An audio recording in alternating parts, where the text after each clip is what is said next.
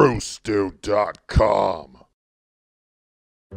When I was a kid, my dad used to take me to get my hair cut at a barber shop. If I got a haircut with my mom, I'd go to a salon and just run around, be a little asshole, spray all the hairspray on the shelves, get my haircut, get a sucker, and go the fuck home. But not at a barber shop, no. You sat your silly ass down and you got your goddamn haircut. Okay, you weren't dealing with your mom's best friend cutting your hair. You had a strange, angry man doing it. I walk into this place and everybody's smoking cigarettes. I sit in a chair and I'm thinking, this is where people get haircuts? Somebody's garage? Everybody smells like bourbon?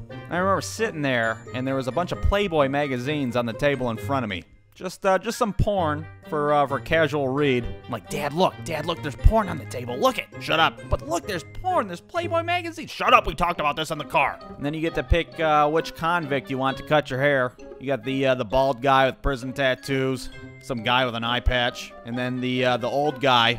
His hands are fucking shaking. He's over there. You can hardly see anything. He's giving everybody haircuts from the 1920s. I'm sitting there completely baffled. Like, what the hell? I'm getting my haircut by pirates? Well, I guess I'll option with the bald guy. Because uh, bald people know a lot about cutting hair. And I'm looking at this nasty ass barber chair. It's got dried blood all over it. Like, do I really want to sit there? Do I really want to get body lice? But you do it because you don't want Cyrus the Virus from Con Air ripping your fucking arms off. Sit down. I start telling the guy, oh, I want a number two on the sides and finger length on top. Whoa, whoa, whoa, whoa. You want a fucking haircut, right? Look at the board over there. We have one option. Don't give me any of that fancy jargon. You want your hair shorter than it is now. Okay, I got it. You start making these weird ass jokes. Jokes that you're not even sure are jokes at all. They're like, man, you're a cute kid. If I didn't know any better, I'd steal you off the street and take you home with me.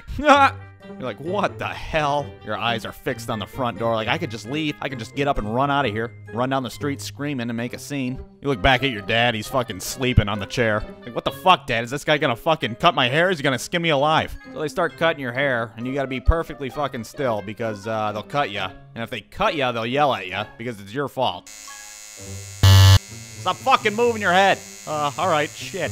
Uh, I'll try not to blink. I'll try not to breathe at all, really. You're praying to Jesus. You're like, God, please, just get me through this. I'll give you all my Pokemon cards if you just take me to a salon. And then 10 minutes later, they're done, and it's actually a really good haircut. You're like, holy hell, that's the best haircut I ever had in my life. Thank you, strange man with only four teeth in your head. You cut hair really good. And then you think, maybe it's worth it. Maybe it's worth a few cigarette burns and almost shit in your pants for a really good haircut. And then you're like, no, no, it's not fucking worth it. I'm in the car, I'm like, Dad, don't you ever fucking take me back there again, okay? You take me back there again, and I'm gonna be a drug addict rapist when I grow up. And then you'll find me years later, cutting hair at that fucking barber shop, scaring the shit out of little kids my age. God, your hair smells good. You sure you don't want to take your shirt off before we do this thing? Ha ha ha ha.